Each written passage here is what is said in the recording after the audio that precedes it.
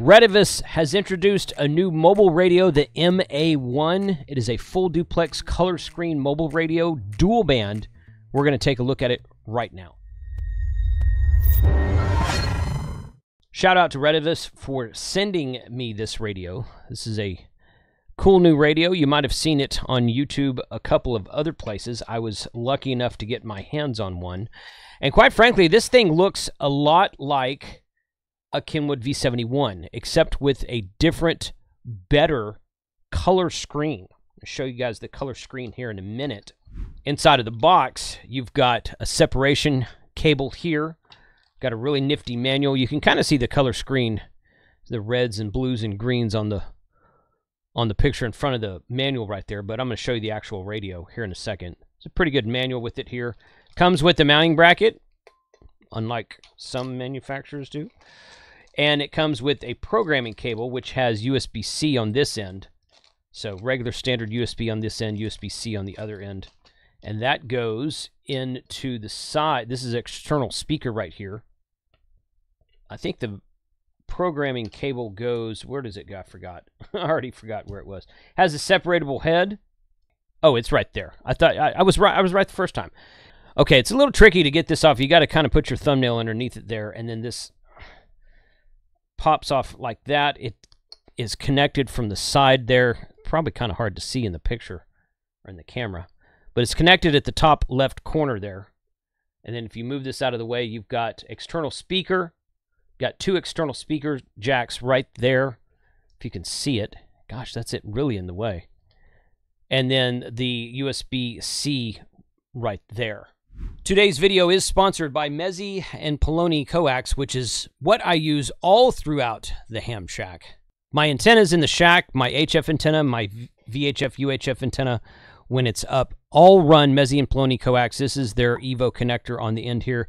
You can save a 10% discount off of all of their items at the link in the description below with the coupon code of HR2 Cables.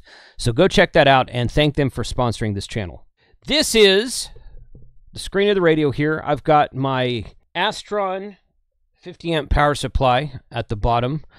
And on top of that is the WM1 uh, 1010D SWR and, and, power meter from Intellitron. I'll put links to those in the description below. So we're going to power this radio on. I've got it connected to a dummy load right now. And there's the screen of the radio. Move the camera up just a touch so you can see that a little bit better. There we go, right there. This is the microphone. Retevis microphone there. It's got buttons on it right there. We've got a lock button there. And this is, I'm not sure what that does. It looks like a zero there. Full keypad, ABCD down the left-hand side there, or down the right-hand side rather. And then the up-down buttons on top. Kind of a weird, not a real microphone connector there, so you're to have to hang it somewhere. But we're to connect it to the to the faceplate over here to see how this works. Now, yeah, there we go. Okay, that is working. We're in memory mode right there. So we got VFO right there, and then MR is memory mode. That's memory mode right there. VFO on the left. This is the left two buttons. That was power, obviously. This one here all right, volume is uh, over here. This is a channel selector. You can manually do it. That opens the squelch. This M button here opens the squelch, as you would expect. Okay. There's two knobs there. If you can see it, that's a volume knob for left and right band. And then behind it is uh, a second knob for squelch for left and right band. So completely independent left and right band volumes. That's odd. A little slow to respond on that. If I turn it. Okay, now it's kind of working. All right, before it kind of lagged behind. I would turn it, and then you would hear it like a half second later. All right, let's change that one.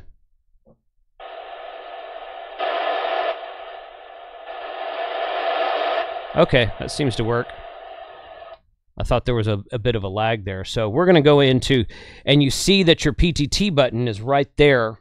PTT button is on the left right there. So we're on the left band right there. And I suspect, yep, If you put press in on these, that's how you switch. Well, that's one way to switch bands. Okay, so on the microphone, you switch bands with the AB button, which is also the D button, like that. The middle button down here, the zero button, is mute. You can see it's muted on the screen right now on the right side. Turn the mute off. You can go up, down through the menus, through the channels of the radio with the up, down buttons right here. You can also do that with the top buttons. So there's two different ways to go up and down through the menu. Okay, so that's a VF. The B knob, the B button is a VFO. The C button is memory. That's what it says on the on the uh, on the microphone there. And then A is exit. Oh, A is enter rather. I'm sorry. A is enter. So now I can click enter and I can click like that, but it's going to go, but we're in memory mode, so we're going to go to VFO mode. I'm going to click enter. 442.900 is a local repeater. And on 442.900, we're doing about 36 watts. That's pretty good right there. Now I'm going to go enter 146.52. That's a lot easier. That's really fast and quick and easy to do that. Ooh, right at 50 watts. Wow, look at that. 50 watts on 146.52. I like it. Very cool. We're into a dummy load right now. I'll ID KC5HWB. You don't have to ID because I'm going into a dummy load. But to get into the menu, we've got uh, control band low. That'll change your power. Low power on 146.52. Looks like it's doing around just under 5 watts. Now it's mid 2. Oh, it's got, okay, it's got four power settings. 19 watts. No. Low, mid 2, and high. Usually when you see a mid 2 like that, there's a mid 1 and mid 2. So I don't know why it says mid 2. But we're doing 19 watts on mid power and we're doing 50 watts on high power. So that's that's a good balance between 5, uh, 19 and 50 watts. Okay, good. And if we go back to, let's just go to 441. And on high power, we're doing 30, almost 35 watts on 440. Low power, three and a half watts, and mid two, which is the mid power, we're doing about 16 watts on 440. There you go, right there. Okay, I don't find that to be very intuitive. I had to look in the manual to find this, but in order to get into the menu, press function, and that's flashing right there. The channel number is flashing, and then we press this knob right here. And that's our menu. So now we're menu zero is beep. Looks like it's got about ha, 999 menus. I bet there's not that many. I bet it skips some. Oh, yeah, okay. So menu zero is beep. Menu one is uh, beep volume. Oh, you can change the volume of the beep. So we can have a low volume beep. And then it jumps to 101. Step is 12.5. We're going to change that to 2.5. Okay, it's got an 8.33 kilohertz step. So airband. I don't know if it'll receive AM or not, but that's the generally what you're looking for there. We're going to go down to, it'll go to 100 kilohertz, 50, 30, 25K. Okay. It goes to 2.5K. That's the lowest it goes. That's usually where I like to keep mine. Modulation is FM. Oh, okay, it does do AM. So you can do aircraft receive with this because you can go to AM and go to the 8.33 kilohertz offset and you can set yourself some aircraft frequencies to monitor. I doubt it's going to transmit there, but we can check that. Uh, busy shift is off. Timeout timer. Memory name. Now we're up to the 200s. 300s. Offset. Okay, yeah. So 0.6, that's the 2 meter offset. ARO. Now we're up to 400. Repeater mod is cross. Okay, so we're in crossband repeat mode. A ATX and BTX. Okay, good. Repeater hold. So we've got, and it uh, jumps to 500. It's not going in sequence order. So the numbers that you're seeing right here are strange because it's skipping around a lot. So two tone and five tone, it's got good. Speaker, screen, SCR, not sure what that is. SPK, I would think that that's, okay, that doesn't change anything. This is all Vox, pass WD pass reset. Okay, so that's where that is. press function to get back out of that. All right, if I wanted to set a simple channel, okay, so I'm in VFO mode right now. You can tell because there's no channel number at the top right there. So I'm going to go enter 442900.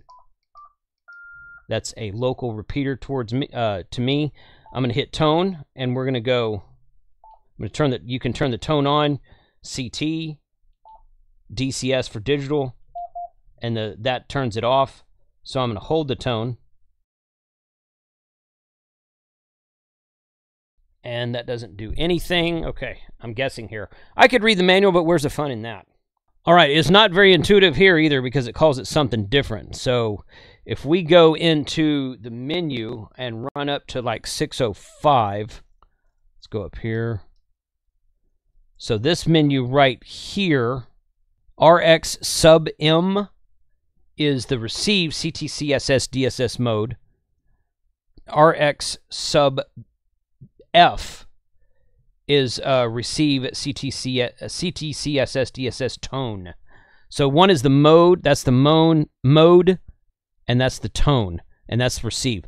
So transmit, you see it's on mode CTCSS right now, and we can change it to DCS, DCS receive, and turn it off. There we go. And then transmit tone, change here, and 110.9 is where that repeater is there. Now, you can also turn the tone off and on with this button right here, but you can't, you, you turn the tone off and on, but you can't set the tone. So now I need to set the offset and, okay, there's offset right there. Offset is set to 7, uh, so menu 400 is offset. We're going to change that to 5 megahertz. I don't know why it's 7.6. That's weird something in another foreign country, I would expect.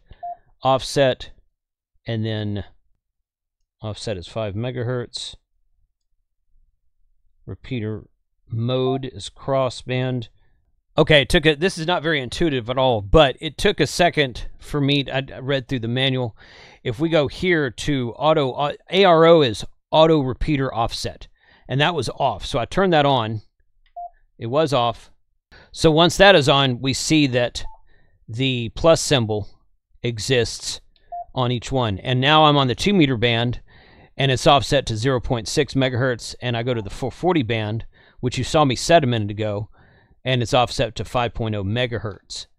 So there we go. So you can turn on auto repeater offset, and it automatically knows where to go. If we go back, see it's it's a positive offset over here right now on 147 100 which there's a local repeater that's on that frequency. Of course, we're going into a dummy load right now.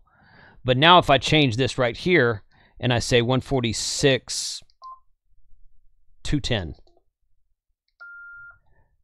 it's still a plus there. Let's see. If I change it to 145, 210, then you can see it changed from a plus to a minus, and now we're at a minus offset. So there we are right there. So it does have the auto offset feature. Unlike some of your Chinese radios which don't offer that, there is that auto offset feature right there. So pretty good. Um, and it, again, it's not really intuitive in my opinion, but the manual is good. So not intuitive, but the manual is pretty good. It calls the uh, transmit and receive CTCSS. It calls it a different menu than I've seen before, but you know, once you once you kind of figure it out, it's not a big deal. So, tell me if you guys have seen this radio separation kit here.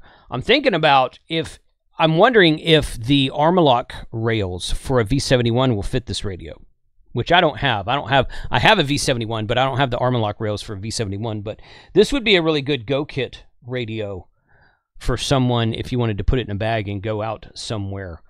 Uh, low cost alternative. I'll put a link to this in the description below from Retevis. Again, they sent me this radio, so I appreciate their time and effort into sending this to me. I'm looking forward to using this. I think I might put it in the truck and see what it sounds like on the road. I don't have an external antenna up right now. I took my antenna down. There were some storms coming through the area, and I'm like, you know, I need to change some stuff anyway. So I don't have an external VHF, UHF antenna up right now. I have HF up, but no VHF, UHF right now. So might take this out, plug it up into the truck, take it on a road trip, see what it looks like, and go from there. Uh, check the links in the description below, guys. Thanks for watching today.